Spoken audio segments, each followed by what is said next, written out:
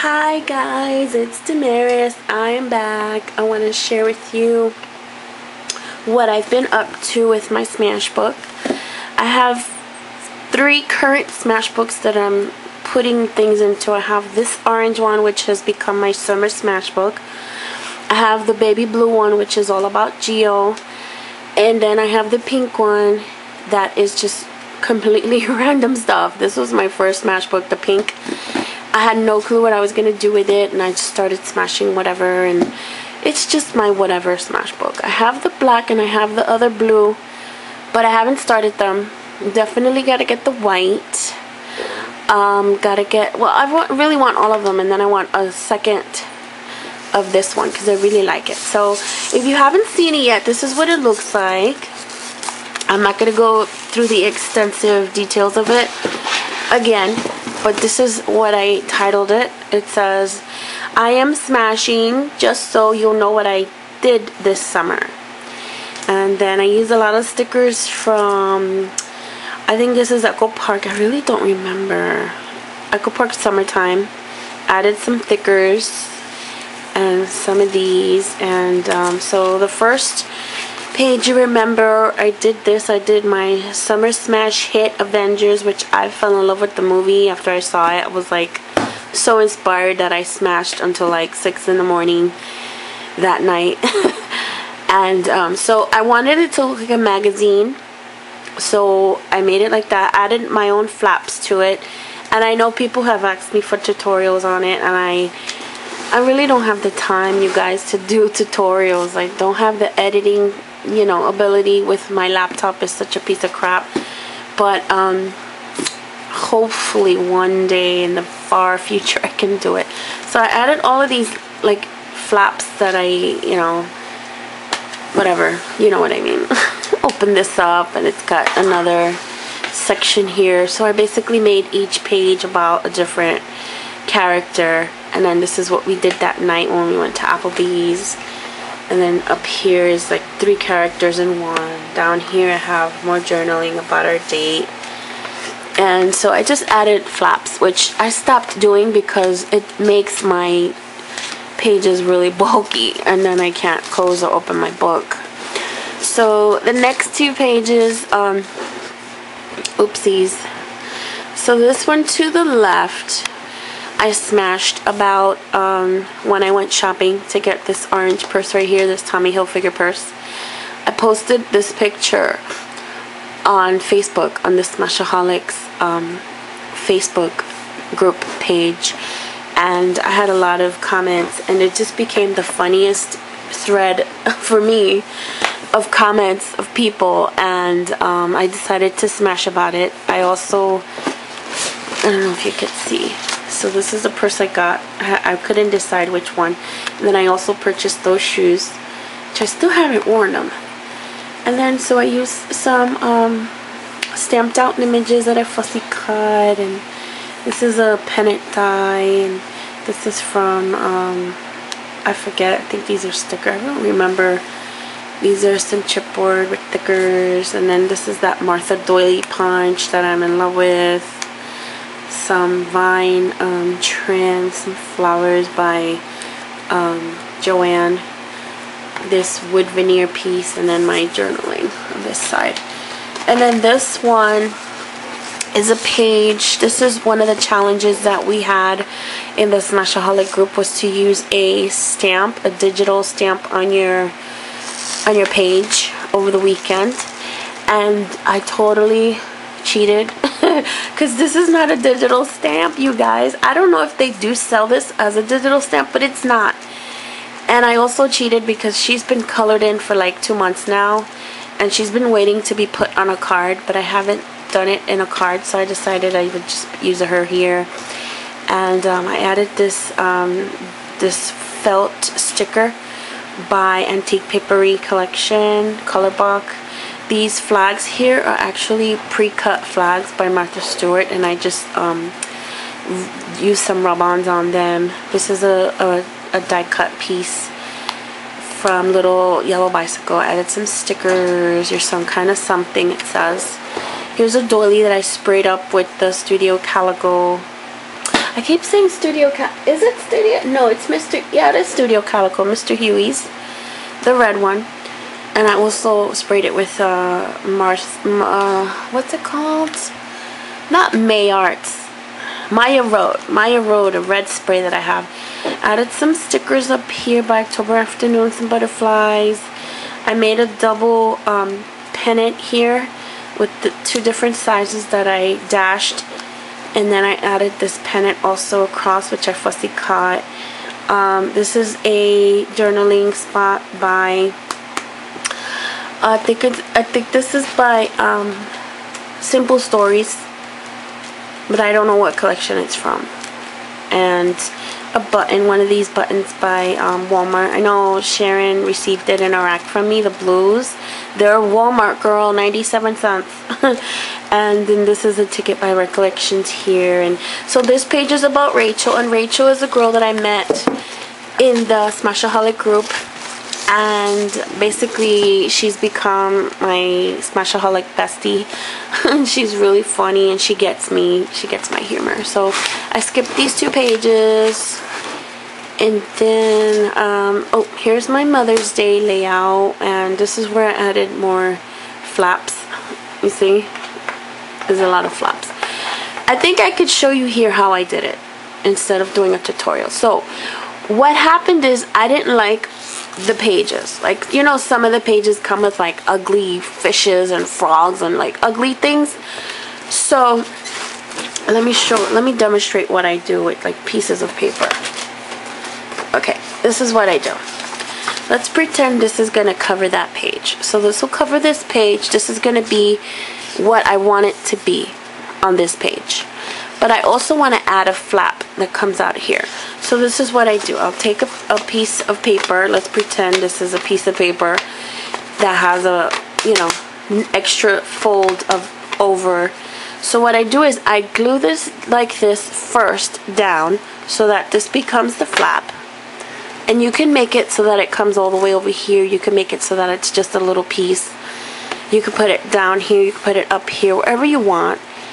So you do that and then you take the piece that you want to you want to have as your front page and you glue it on top. And it conceals this little flap. It conceals the flap and it it makes for an extra journaling spot or picture. Or that's exactly how I do it. You can do it at the bottom here. You cover it up and then it becomes a flap that lifts up etc etc so that's how I do it without having to show you how I do it So that's what I did here. See, this flap is somewhere behind this piece there. And um, so this paper that I use, this is Dear Lizzy. I used a lot of the Dear Lizzy Neapolitan stickers and this grass down here. This is some stickers by, I think this K & Company Recollections these happy times family time remember memories those are stickers those are uh, stamps by unity that i inked up with jenni bowlin inks. And here's my journaling here and it says 513 full of surprises fun times. I added some stickers and chipboard pieces random. Here's a picture of geo let me show you. We went to what's it called? Cracker Barrel? This was Mother's Day. Yeah, I went to Cracker Barrel and then I had this fussy cut uh, Bella Boulevard um, hot air balloon. These are the Polaroid pictures that I took with my Instax camera when we were outside after we ate. We were doing on the rocking chairs. And that's hubby and Geo on the rocking chairs. And then, let's see, on this side, I added some more um, secret stuff, secret pockets I call it. So at the very top I added a pennant um, banner with some punched out clouds that I um, did some faux stitching. These are thicker stickers. This is a butterfly by Heidi Grace or Heidi Swapp. I always get those confused. And then down here I did my journaling. This is some washi tape on the sides. This is a, um, from the Dear Lizzy stamp that I inked up fussy cut and then I added this little tiny Polaroid right here. I don't know if you can tell. That's a little Polaroid and it says hey with some stickers. And so this opens up like that and then this opens up the other way. Let's zoom out. That opens up the other way because the washi tape acts as a little hinge for the little swinging doors. So this is us and then this little tab pulls out to reveal another picture. So those are my little secrets. Alright, so the next page is nothing. And then over here, I did um, a page about my mom, her birthday. And um, I fussy cut these um, hexagon pieces. And this is from Echo Parks. Um, I think this is Hello Summer by Echo Park. I made my own banner using twine. And what I did was I punched out the Fiskars Punch banner punch and then I just layered it all around, around, around until it covered up the whole punch. This green back there is washi tape and then those little circles were punched out with um, stamps. These um, were punched out, the clouds were, no, they were cut out. This is a cutout also, the little hot air balloon. And then my mom's pictures at the bottom added some more twine over here. Because this was a part of a challenge. We had to make something. And we have to also I think use twine for that challenge. So this was the last page I did actually and on this page um, I did it so quickly. It, it might have taken me 20 minutes I think to do. Um, I received this doily in a package from Yaya and I purchased some um, things from her, some dies, some MFT dies and she sent me this huge gigantic doily and I was so in love with it that I got just so inspired by this doily and I decided to make a page. And um, I just cut off the end here added some stickers crybaby. And actually the stickers I used are right here. Well I didn't use these D's but this is what I use. It's called it's by Fancy Pants. It's called Baby Mine. These are the stickers. So I just um to bring out the green I just um, doodled around and um, I added some stickers from uh, Echo Park's one of Echo Park's collections and I doodled around. I added the doily punch by Martha Stewart. This button here I got from a website called pigtails freckles and pigtails.bigcartel.com and I will leave you the link to that below. I will also leave you the link to Yaya's store so you can go check her out. And then um, the little Polaroid. This is a picture of Geo getting in his little pool that mom gave him. And he didn't like it. He cried the whole time. he was so upset. And which is weird because he loves to go swimming. He loves taking baths. So he just didn't like the little pool. And I thought it was so funny. So that's that page. And then this page was a road trip that we went to Port St. Lucie. And this is what I this is a little um, Instagram that I wrote the night before we, we did it because um, this was when hubby wanted to take me to Hobby Lobby to shop and I was just so excited about it that I couldn't sleep the night before. So this is me. This is me wearing my cute Hello Kitty shirt from Old Navy and my cute um, Je Paris bag from Old Navy and um, just a lot of washi tape. This is like really messy smashing which probably is what it kind of should be because I'm a little bit more organized with my smashing now. But um, this is the haul that I did that I think I showed it to you guys. And then we went to KFC and some journaling and then I fell down and I got really dirty and that's why I put your trip at the bottom here.